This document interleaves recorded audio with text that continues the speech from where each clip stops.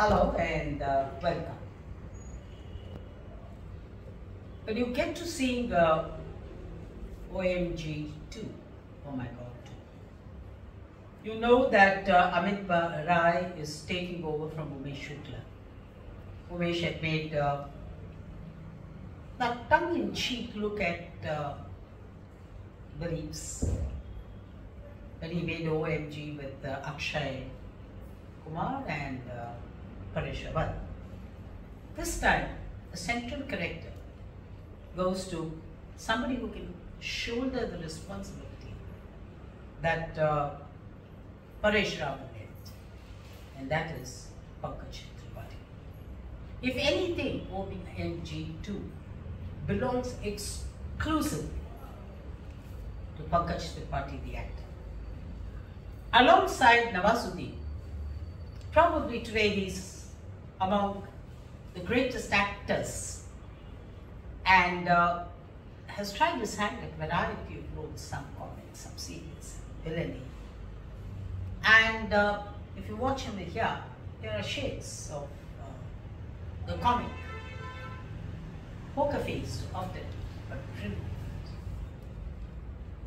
The film tries hard to sell uh, the idea of uh, need to change your mindset. Rai deals with uh, mindsets.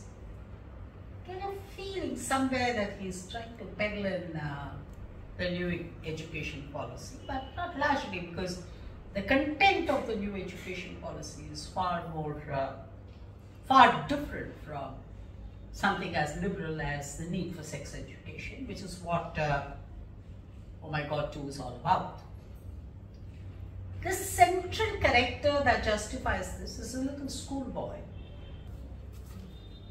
His son, played by uh, Aarush Varma, plays Vivek, who's an adolescent boy in school. He finds the school washroom as a place to masturbate, and then the whole story begins. He's caught on camera by a set of bullies at the school, and uh, he also believes that there is a need to increase the size of his instrument and uh, goes to quacks, to pharmacists, to all kinds of people, magicians. And the whole family is brought to shame because of this. And the dad, Kanti Sharan Mudgal, Pankaj Tripathi, works with uh, Govind Namdev, a pujari of the, the place. And all this is happening at Mahankal near Indore and uh, very religious Shiva family, uh, Shiva believers. And they're shocked when the whole incident is exposed. And nudged by the gods in a cameo, Akshay Kumar, who's played Krishna in the earlier avatar and now decides to play Shiva, nudges Tripathi or Mudgal to sue all those who create trauma and suffering for the little boy who's also sent out of school.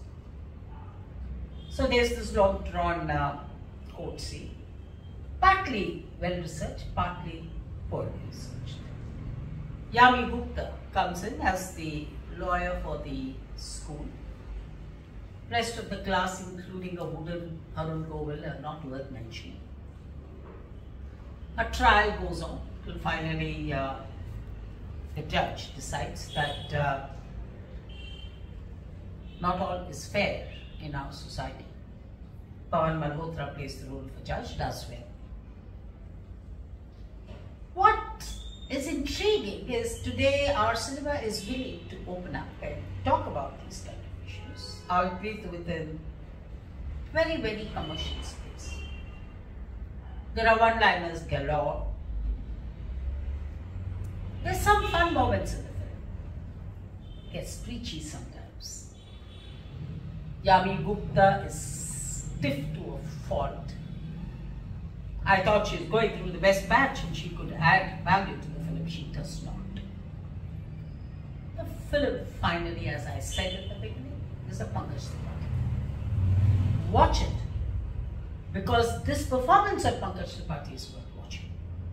It's also it's for a reasonably good watch. You don't expect too much from the film. Amit Rai believes that uh, the legal system is an answer, and this is quite different to the general cynicism that's growing in our society about the adequacy of the legal system. Be that as it may, a debate on that in a larger space at another time. Suffice here to say that OMG2 is not a bad effort, could have been a much better Akshay has a very small cameo and uh, nothing really worth talking about. It's interesting to see a boy like Aarush Varma carry out. It's sad to see somebody like Brijendra Kala be wasted. And uh, it's also interesting that the film stays clear from a romantic story. Thank you for that. And yes, I would say if you're a who doesn't mind an evening of a reasonably ordinary film, not boring, not going to hurt you, go for it.